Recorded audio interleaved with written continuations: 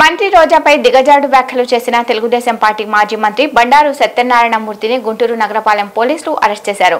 విశాఖ జిల్లా వెన్నపాలెం వెళ్ళిన పోలీసులు సిఆర్పిసి కింద నోటీసులు ఇచ్చి సత్యనారాయణని గుంటూరు తీసుకొచ్చారు. గుంటూరు ప్రభుత్వ ఆసుపత్రిలో వైద్య పరీక్షలు నిర్వహించి స్పెషల్ మొబైల్ కోర్టులో ప్రవేశపెట్టారు. టీడీపీ శ్రేణులు ఆందోళనలు చేస్తారని అనుమానంతో వారిని ఎక్కడికక్కడ గృహ నిర్బంధాలు చేసి పోలీసులు అడ్డుకున్నారు.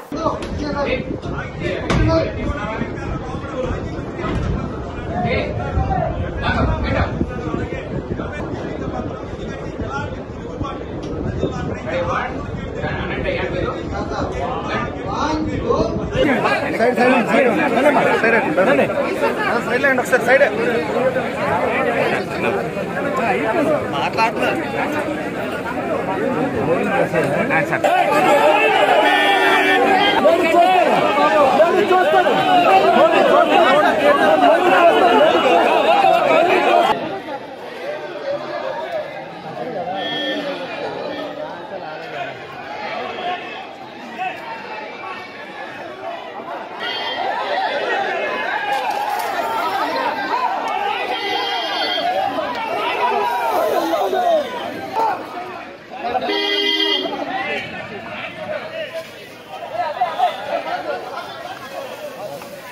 నిమిషం ఒక నిమిషం.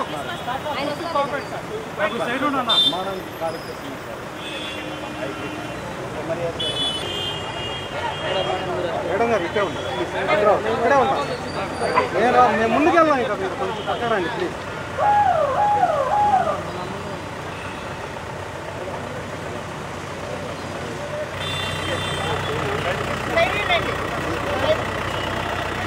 పోనీ పోనీ